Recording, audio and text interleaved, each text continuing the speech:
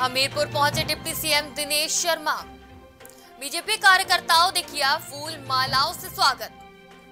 Deputy CM Yamuna पुल से हुए राठ के लिए रवाना। ब्रह्मानंद की समाधि पर करेंगे पुष्पांजलि और माल्यार्पण।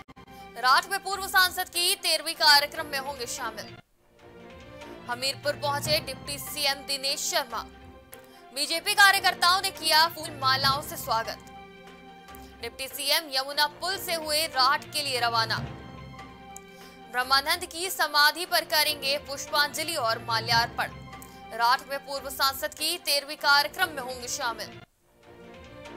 हमीरपुर पहुँचे deputy CM Dinesh Sharma. BJP कार्यकर्ताओं ने किया फूल मालाओं से भव्य स्वागत। डिप्टी सीएम यमुना पुल से हुए राठ के लिए रवाना। ब्रह्मानंद की समाधि पर करेंगे पुष्पांजलि और माल्यार्पण।